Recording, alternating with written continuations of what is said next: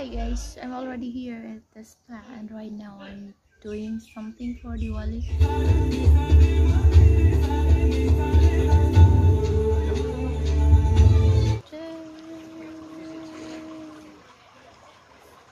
She's a Mona Lisa.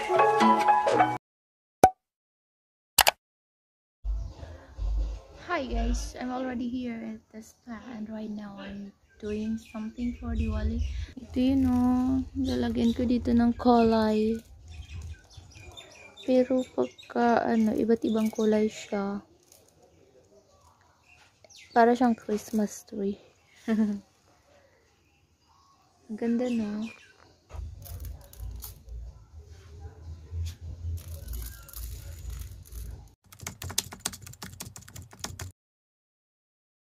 Guys, we're having a practice for the spa Diwali show, fashion show.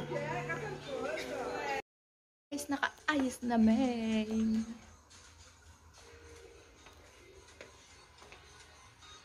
Ang ganda sa likod. Hi guys, it's my last time in the spa talaga. We're going to do a fashion show I am in a fine design here. Paulit-ulit no?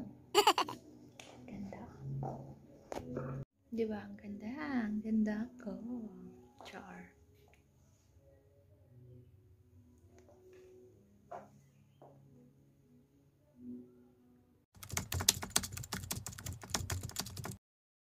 Set na ng spa. Ang ganda no? Mas maganda to mamayang gabi. Happy Diwali! you will take picture? I take video. Okay.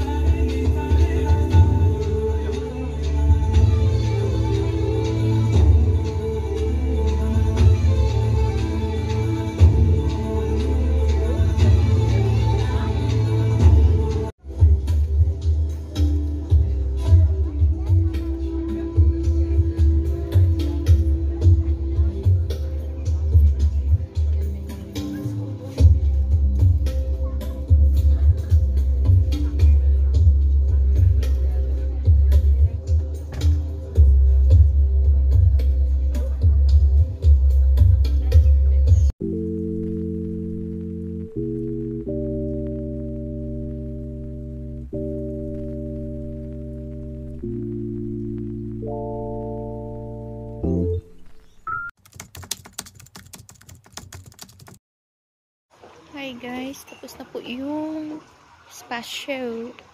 At ngayon ako ay naglalakad dito sa spa. Nag-vlog. Ang ganda dito.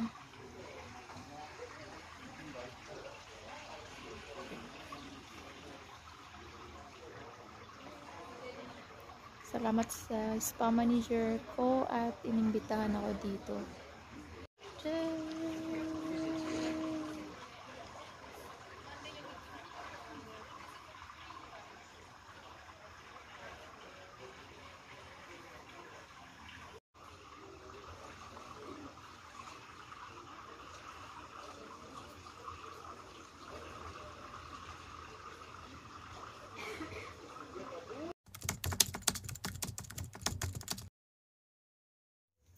Hi guys! I just back home. Kakarating ko lang galing sa hotel. Oh. Alam niyo ba guys, I'm so thankful sa aking spa manager, sa aming spa manager kasi inimbitahan niya ako today. Paulit-ulit ano. What can you say about my costume, guys? Parang ang ganda ko naman dyan. Char. So, ayun. Papasalamat talaga ako sa kanya bago ako umalis. Bago ako umalis kanina kasi nga eh, opportunity ko yun na makapag-attend ng spa show para sa Diwali kasi nga ano nag-resign na ako. So, ibig sabihin, tapos na ako dun. Pero, bumalik pa rin ako kasi nga, inimbitahan ako. So, di ba? Social! Swerte ko naman. Mabait naman kasi sila. Siyempre, mabait ako, di ba? Char. Ang mga babait naman ako, pero ayaw ko lang talaga dun na la- Ayaw ko na magtrabaho dun kasi yung oras nga So, siguro in the future, kung wala akong choice at malaki na yung basic salary ko doon, dyan, sa Tamasta Resort, then babalik siguro ako. Yun, umalis nga ako doon, nag-resign, pero maayos naman lahat ng rela- relasyon ko doon. Umalis ako sa spa ng maayos no maayos ang pagpaalam ko pati sa HR. So, kung gusto kong bumalik, matatanggap ako kasi wala man akong atraso. Yun lang po guys, ang aking video ngayong araw.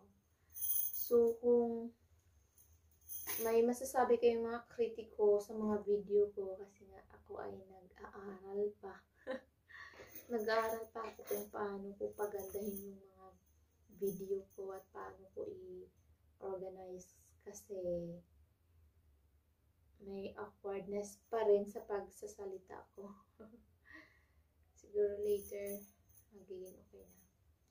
So please guys, don't forget to leave your comment kung ano yung gusto nyong gagawin ng video ano ba yun, mga ano lang ha, mga daily routine lang kasi, pati ano, yun, um, magluluto ng Mauritian foods. Actually, hindi pa ako nagluto ng Mauritian foods. Loyal ako sa Filipino foods, pero I am going to cook Mauritian foods soon. Okay, guys. Napunta na tayo sa Mauritian foods. Uh, salamat po sa iyong time kung umabot ka man sa video na ito, sa linya na ito. Salamat po sa iyong oras sa panonood. Please, huwag kalimutan mag-subscribe kung like mo. At kung gusto mo, pero kung ayaw mo, please pa rin. Thank you very much. Please don't forget to subscribe na nga.